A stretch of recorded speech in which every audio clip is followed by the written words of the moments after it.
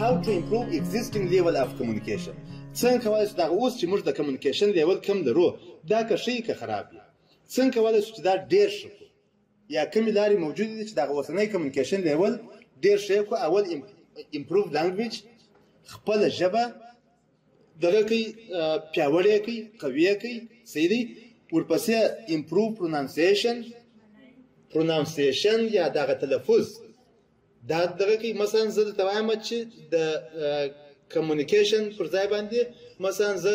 سمونیسیشن درته وایم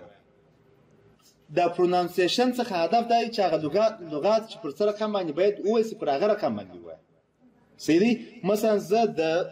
ګوګل پر ځای باندې جوجل دا نه سم وای دا پرونانسیشن خراب دی سری یا مثلا د کیټ پر ځای باندې زه سیټ نه سم وای صحیح دی دا دغه نه دی دا سم پرونانسیشن نه دی هغه کم لغات چې پر څه رقم باندې باید پرونانس شي هغه رقم باید وویل شي صحیح دی ورپسې د دې څخه ورک ان وایس ماډولیشن دا خپل وایس ماډولیشن پر دې باندې کار وکړه په کم ځای کې باید आवाज لوړ کړي په کم ځای کې باید आवाज ښکته کړي دا تاسو خويندې چې هغه اولادونه لري ډېر شور سره پوهیږي د دې شي سره په ځای ځای کې دا رقم پیښ شي چې دا आवाज به کې دوه نور سره ورس کې همسایګان اوري وای پر خپل باډي لنګویج باندې کار وکړي څه رقم باید کښینې څه رقم باید ولاړ سي څه کم ځای کې لاسونه وښوره لکه ابل ورځ ما مثال درته وایه چې موږ ویل چې دغه مو... دغه لنګوټو او دغه موچڼو دا وطن ګټلی دی دغه سرچپه چې دا شی سره وایي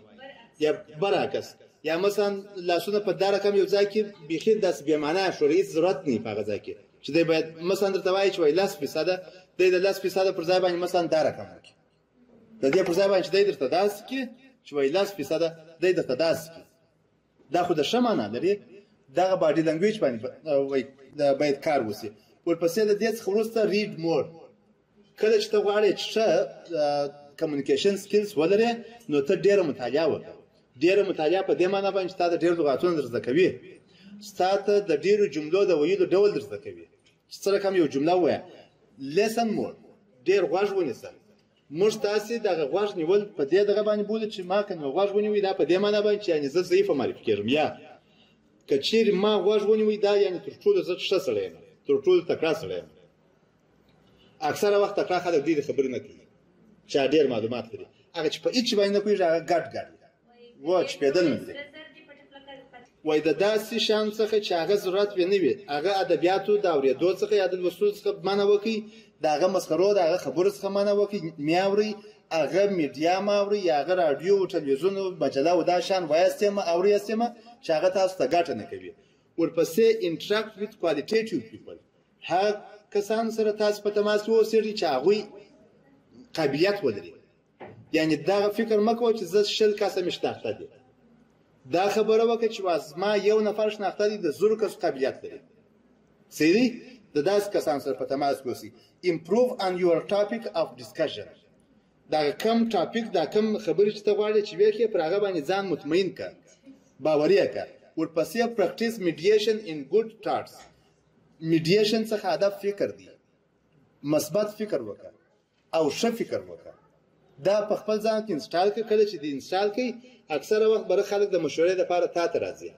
وای دی اکثره وخت ماته مثبت فکر راکړي مثبت انرژي راکړي سری ثینک اینڈ سپیک اول فکر وکړه بیا وروسته خبرې وکړه ورپسې ډو ناټ سپیک ټو فاست ډېرې تیز خبرې مه کوه ورپسې یوز سمپل وکیبلري اسانه وکابلري یا اسانه لغاتونه استفاده کړه چې هغه ټول کسان په دې باندې پوه شي ورپسې ډو ناټ سپیک اونلی ټو امپریس سم ون یوازې په دې خاطر باندې خبرې مه کوه چې ته یو څوک د خپل ځان څخه متاثره کړې یو څوک د خپل ځان د تاثیر لاندې راولې کوشش وکړه چې هغه خپل نظر دې مازې واضح کړې دا چې بیا هغه سړی ستا د تاثیر لاندې راځي که نه راځي هغه بیا د هغه کار دی ته مازې د هغه ستا نظر په هغه ډول باندې چې سره کم لازمه ده په هغه ډول باندې ورسوه سری ورپسې لوک پریزنټیبل اند کانفیډنټ کله چې ته خبرې کوې دا رقم خبرې وکړه چې زه دا شی دای درته پریزنټوم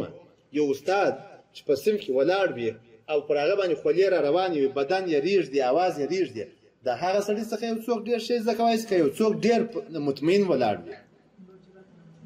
په جرأت باندې ولاړ وي په جرأت باندې چې ولاړ وي صحیح دی نو وایي او دا ځینې کسان دا رقم دي چې دلته چې ولاړ سي ډېرې ښې خبرې کوي مګر د هغه د هغه ښځې به ورته ناست وي د هغه کسانې به یو دوه نفره به یا اضافه سي یا به کم سي دلته په دې ځای کې فقط مازې یو میک ورته کښېږده بیا هغه خبرې چې اوس یې درته کوي هغه بیا نه سي زده کولی د میک تر تاثیر لاندې راځي په داسې حال کې چې موږ او تاسو باید ارزښت خو انسانانو ته ورکړو